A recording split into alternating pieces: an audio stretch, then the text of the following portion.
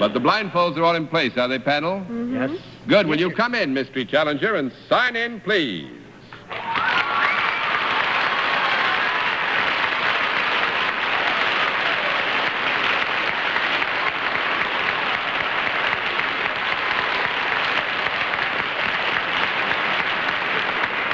All right. Panel, as you know, in the case of our mystery challenger, we get right down to the general questioning, which we will begin with um, Dorothy Kilgallen. Are you accustomed to appearing before audiences?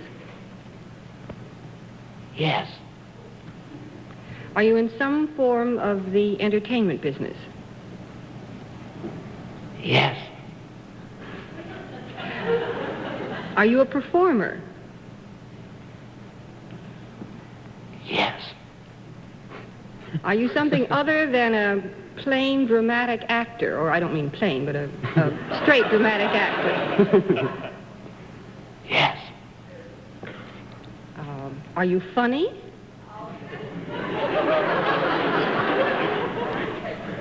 No. One down and nine to go, Mr. Allen. You sound funny to me. Might you be described, uh, or might you have ever been in motion pictures? Let me find that out. Have you ever been in motion pictures? Yes. Have you ever played a lead in a motion picture? Yes. Uh, do you work in television? Yes. Do you have a regular program?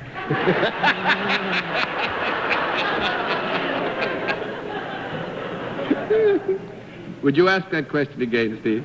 I say, do you have a regular program? We can keep this just between us, you know.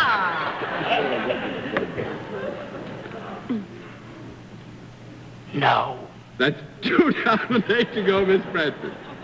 I'm really not sure from the roof whether it's a man or a woman. Uh, i- i- is this a? Uh, are you a, are you a male?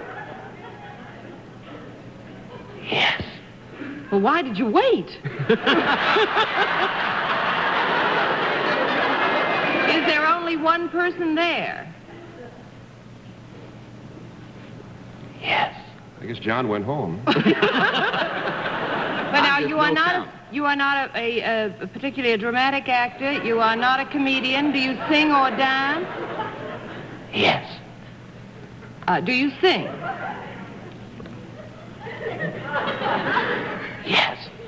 Yes. You must have hit some bad notes to get your voice into such terrible shape. um, have you sung in theaters? Yes. Are you a Bobby Soxer's delight? I'll answer that one. Yes, Miss Benson. Um,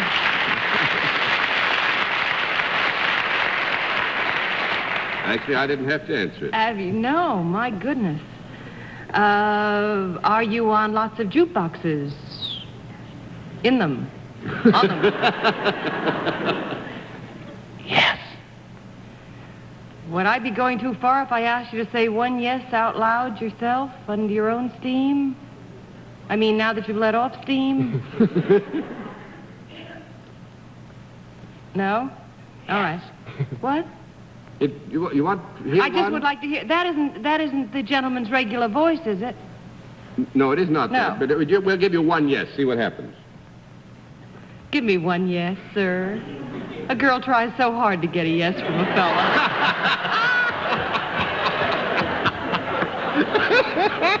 Come on.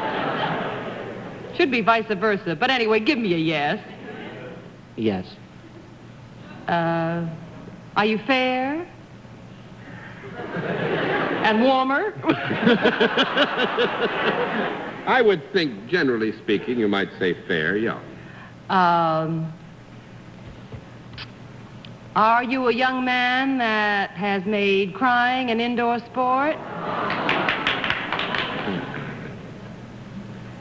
Yes. Well, there's the yes that did it. Is it Johnnie Ray? Yes!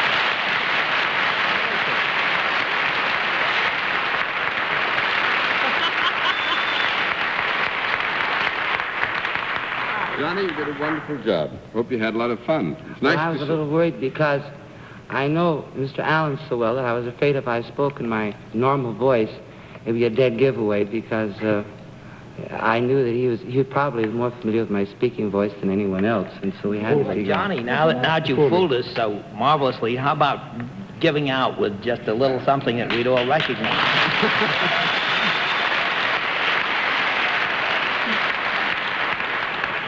Well, I could do an impression for you. I uh, just finished a picture out in Hollywood, and I suppose the best thing I can do unaccompanied is an impression that uh, Dan Dailey did of me, uh, which he originated on the set of this picture I just finished.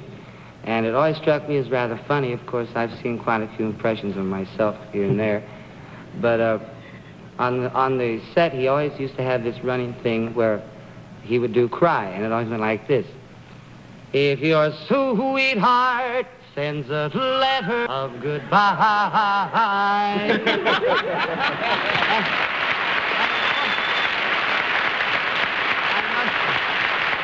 I must also add that I always had a comeback for him. I used to look at him and I'd say, don't forget, Mr. Dailey, in this picture you play my father, and I don't have to listen to you.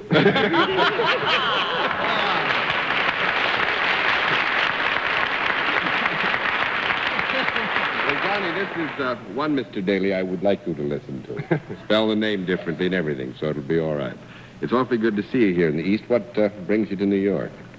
Wait, before you do that, you were very nice. I think this is the first man I have ever known from Hollywood who talked about a picture he was in and never gave its name. Now, what is the name of that picture you just made? Remember. Carl, there's no business like show business. Well, good. Now tell us why, why what brings you to New York. Well, 20th Century Fox is having a premiere here Tuesday night at the Roxy for uh, Darryl F. Zanuck's The Robe, and I and it's for the March of Dimes, and we uh, came back.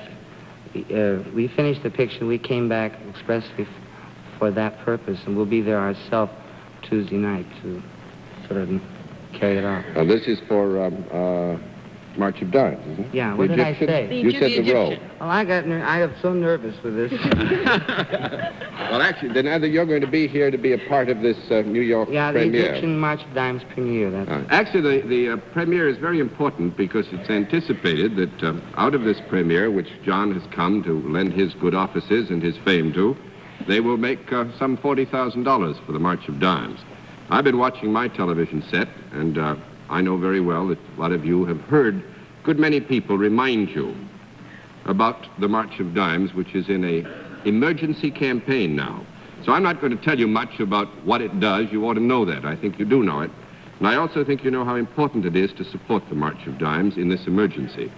So uh, you, no matter where you live in these great United States, do your bit for the emergency March of Dimes campaign because uh, we haven't licked this thing, polio, yet, and we better get to our lasts and do something about it, something extraordinary.